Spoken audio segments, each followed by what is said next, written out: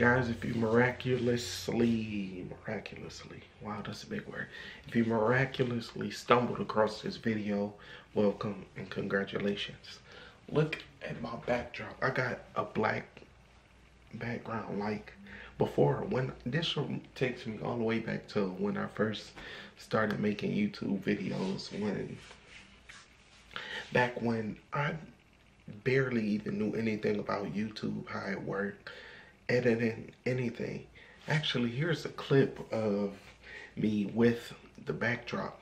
This black, same black backdrop from when I first started over two and a half years ago. Here's a clip.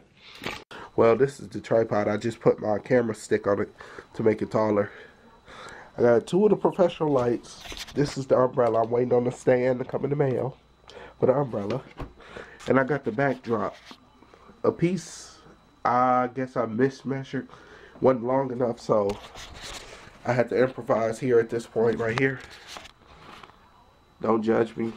I had to improvise at that point, so that was bad, right? It was horrible. I was like so awkward behind the camera. I was so proud of that thing. Like, I was like, I got a black backdrop. I was so happy. I didn't know what to do. I was like overly excited. Like, okay, you got a black backdrop, like, whoop-de-doo, what's next? this just takes me back to the OG days, the filming days, the regular camera days. This just, it's just historical. It's, it's like nostalgic for me. Yo, who is texting me, bruh? In the middle of making a video, somebody's texting me. Let me go see who I gotta cuss out. But honestly, I don't even know what I'm gonna do for this second video. I'm still wearing the same clothes that I've been wearing for like a day and a half now. What am I doing with my life? I'm seriously bumming it. I'm walking around the house doing a whole lot of nothing. I'm going back to my regular one day videos like daily starting next week sometime but i'm gonna do this i believe all the way up until friday. Can i record youtube videos? Is that too much to ask for? But oh my god. I'm going back to daily next week guys. This isn't gonna last. It's a lot harder. I mean granted it's harder but I'm pushing myself to the limit, seeing what I can really do, what I can really endure, and going that extra mile, taking that extra step to get where I want to be in life. And just, I'm rocking it out and doing what I got to do to get there. And it's working out so far. It's it's like okay. It's it's working out good so far. Oh, it's okay so far. So my old videos suck, suck bad. And my voice was so oh my god, I just could not make YouTube videos. Like, my voice was horrible. Not that it's got any better, but I think I'm going to take this video a whole nother direction and do a story time. So, let's get into a story time. I'm going to make it a quick one. So if you guys don't know by now, what you should. If you don't know who Taylor is, she's my girlfriend for almost five years now. Every since the beginning of me wanting to start YouTube before I start making videos on YouTube, before I even got into YouTube or learned anything from YouTube, she was the one that bought my first camera. She was the one that bought my first computer. I didn't know none of this. I get a knock on the door it's the mail carrier with a package. I open the package. It say my name on it. It's a camera. Canon EOS something. It was a Canon EOS camera. And I'm like, where did I get a camera from? I asked my mom, I asked my dad, I asked my brother, my, even my grandma. Everybody said that wasn't me that sent you a camera or bought you a camera. Or maybe it was a wrong address, send it back. Or I was just confused. Like, and then Taylor called me like later on that evening, this before everything just transpired. And she called me. She said, I bought you a camera. It should be coming to your house today. I said, so you got this camera. She said, start making videos, start creating videos, start uh, doing what you do. So I started making videos, start creating videos. At this time I was working. I was working 10.30 to 6.30. I would go to work at 10.30. I come home at 6.30 and still try and make vlogs or try and make videos for YouTube. And it was kind of hard because it was already late. I was already tired from work. And I didn't have a computer to edit on. So I would just like record videos and like two weeks later, she got me a computer too. Like it came and she said, start creating videos. And that's when I signed up for this video editing software. I started making videos and from then on, I've been making videos on YouTube ever since she bought me my first camera. So if it wasn't for Taylor, I would have never started making YouTube videos. I would have never did YouTube. I always thought I wasn't good enough. But me and her, we have had a strong connection.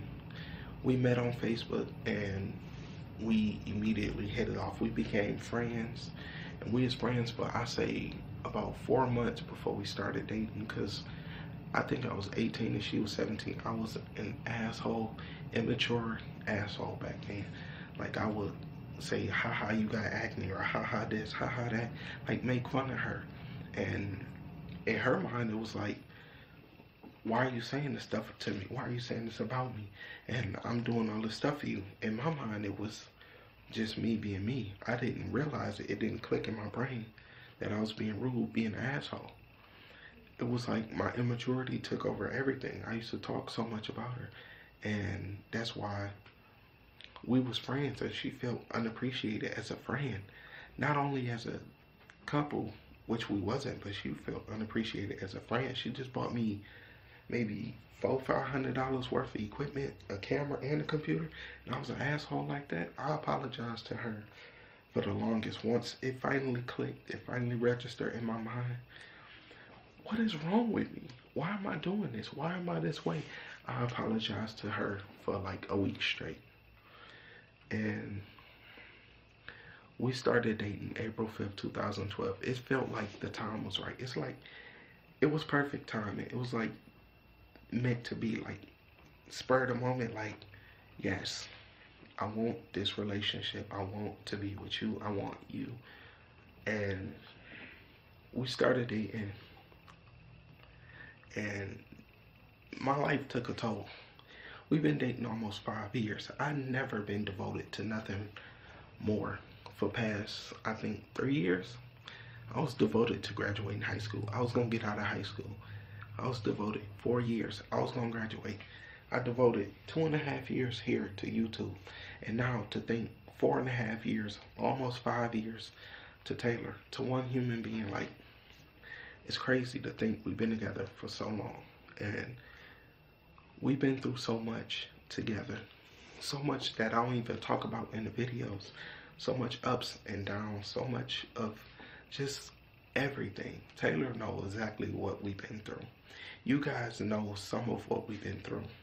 You don't know everything, but if I told you everything, you'll have a whole different perspective. Like, wow, we on some Bonnie and Clyde, Beyonce and Jay-Z type stuff.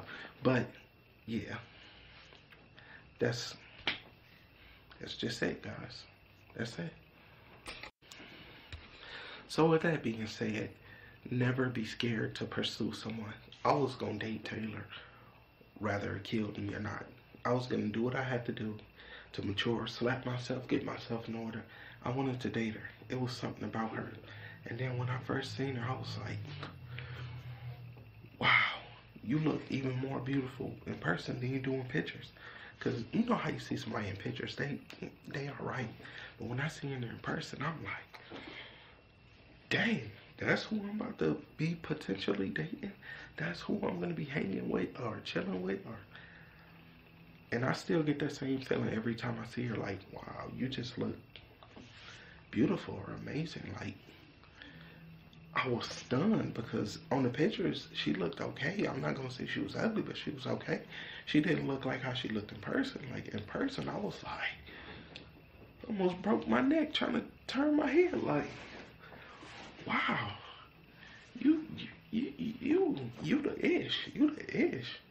And when I first seen her, I'm like, I'm gonna date you. I'm gonna date you. She just laughed and shrugged it off. We'll see over them four four months, I was consistent with trying to get myself out of the friend zone, basically. That's what I was trying to do. For four months, trying to get myself out of the friend zone. I finally, finally did it. It felt like the timing was right. I finally, I think she asked me, or I believe she asked me. Yeah, she asked me, she said, do you want to date for real? Because I think the timing is right. And I said, yes, yes, a million times, yes. I remember it like it was yesterday. Ever since then, we have built a connection that's unbreakable, unstoppable.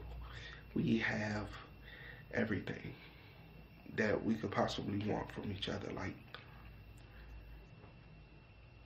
like oh my god she believed in me in me on youtube like even though i'm at what 200 subscribers she still believe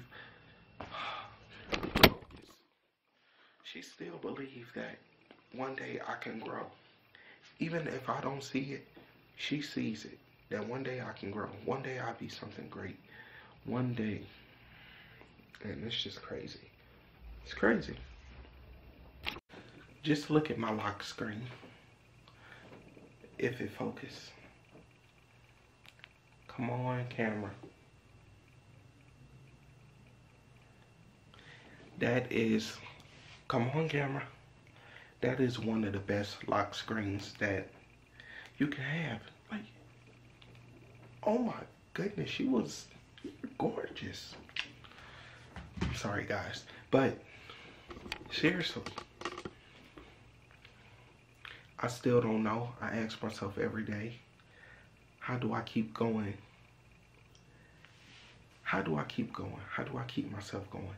How do I keep persistent? How do I keep moving forward? How do I pick my feet up and make myself move forward? Not only in my relationship, not only in my career, not only in anything I do, but just wake up every day and just keep myself moving forward. I try and tell myself every day, you woke up this morning. Not many people woke up this morning. Not everybody could say they woke up. Uh, you got your sense of smell, touch, listen, talk. You can hear. Every little thing now in life I learned to just appreciate. I may not be the best person ever. I may not be the most successful, the most handsome, the most caring, the most charismatic, whatever. But I am a human at the end of the day, and I do have a lot to offer. So, with that being said, guys, I'm gonna go ahead and end the video off there. I know it was mostly about me and my relationship. I'm sorry about that, but I just had to get that off my chest. But Taylor, if you're watching this video, call my phone.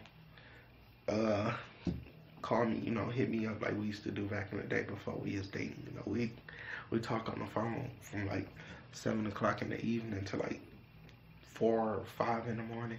We stay up all night on the phone, like just talking about nothing. We are so lame. we is the lamest couple. But thank you guys for watching. Smash that thumbs up button. I'll see you tomorrow. Peace out, guys.